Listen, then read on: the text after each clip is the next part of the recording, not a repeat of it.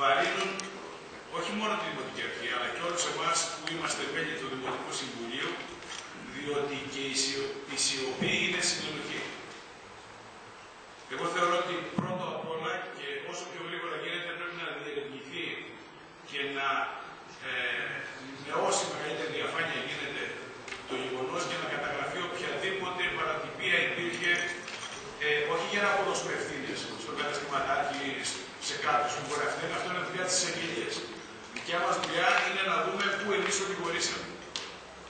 Άρα θα πρέπει να έχουμε πλήρη αποτύπωση, διότι σας είπα αυτά που ακούγονται πιθανό να είναι και διαδόσεις να είναι, ξέρω εγώ, και μεγαλοστομίε και υπερβολές.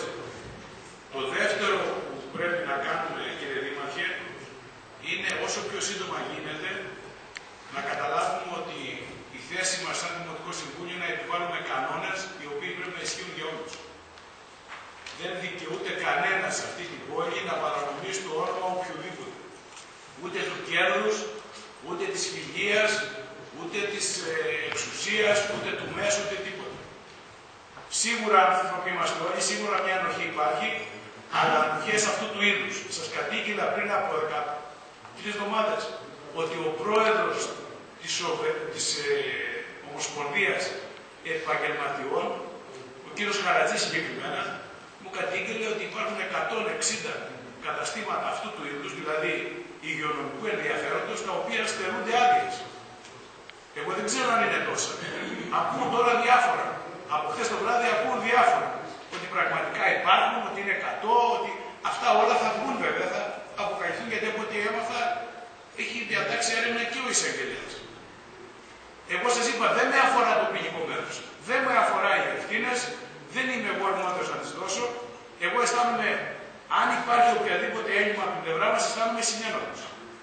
Γιατί δεν φροντίσαμε όλο αυτό το διάστημα, όχι ότι είχαμε ε, πρόθεση, αλλά έστω και ανέργεια ήταν εγκληματική διότι την πλήρωσε ένας άνθρωπος με τη ζωή του. Με βάση τα γεγονότα που μέχρι τώρα γνωρίζουμε. Ελπίζω και θέλω να πιστεύω ότι δεν είναι ακριβώς έτσι και ότι δεν υπάρχουν αυτές οι ευθύνες. Το δεύτερο που θέλω να πω είναι ότι θα πρέπει πλέον, σαν Δημοτικό Συμβούλιο, να αναλάβουμε ευθύνη απέναντι αυτή τη πόλη και να διαμηνήσουμε προς κάθε κατεύθυνση ότι αυτή η πόλη επιτέλους πρέπει να λειτουργήσει σύμφωνα με τις με τις διαδικασίες που επιβάλλονται από τον νόμο. Ακούω άλλα πιο δυσάρεστα πράγματα, κύριε ότι υπάρχουν καταστήματα που λειτουργούν μάλιστα με, που ελοχεύουν κίνδυνοι μεγαλύτεροι από αυτά. Και, και λειτουργούν κάτω από τη δική μας ανοχή. Αν είναι δυνατόν. Τι, τι θα απολογηθούμε, τι θα πούμε. Και για να κλείσω, λέγαμε εδώ για το πανηγύρι, γιατί συνάδει το θέμα. Λέγαμε για το αέριο.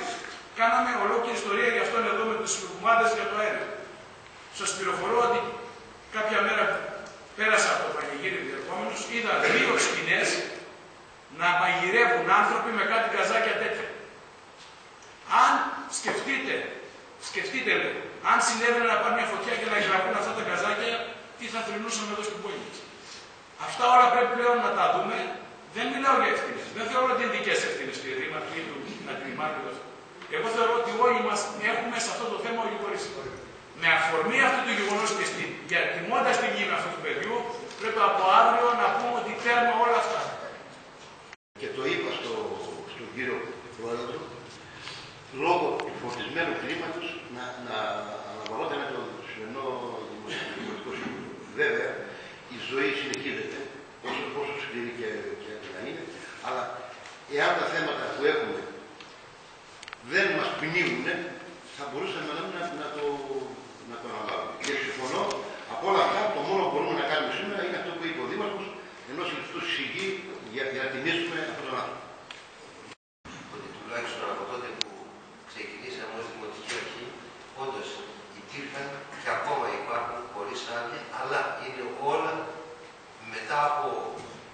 τοπική παρέμβαση, αλλά και με, ας το πούμε, αρκετή δουλειά από το αρμόδιο γραφείο, έχουν ξεκινήσει οι διαδικασίες αδειοδότησης καταστημάτων.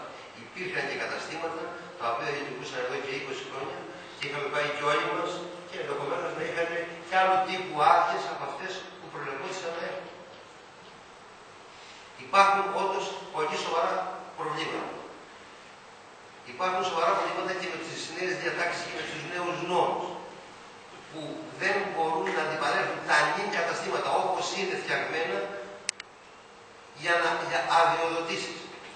Έρχονται, πηγαίνουν, ξανάρχονται, ξαναπηγαίνουν οι φάκελοι με τις τροποποιήσεις, με τις διορθώσεις που ζητάνε η, η διεύθυνση υγιεινής έχει μια δυστοκία στο θέμα εκείνο, έχει δημιουργήσει αρκετά προβλήματα.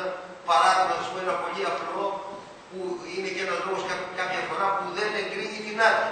Το ότι βρίσκει ανοιχτό εκεί την ώρα τον κάδο και το φωτογραφίζει. Τον κάδο, το απορριμμάτων. σκέψη που έχω ότι ε, καλό είναι να υπάρχουν οι έλεγχοι ώστε να μην μπαίνουμε σε τέτοιε διαδικασίε. Γιατί σίγουρα είναι μια περίπτωση που υπάρχει κρίση. Και εδώ πολλοί άνθρωποι παίρνουν στο σπίτι του ρεύμα με άλλου τρόπου. Φανταστείτε και τα καταστήματα που αντιμετωπίζουν προβλήματα πολλά. Εγώ θεωρώ δηλαδή ότι υπάρχει και το θέμα το οικονομικό στη μέση που δημιουργεί ας πούμε και τις προϋποθέσεις ε, έλλειψης ασφάλειας. Άρα το πρώτο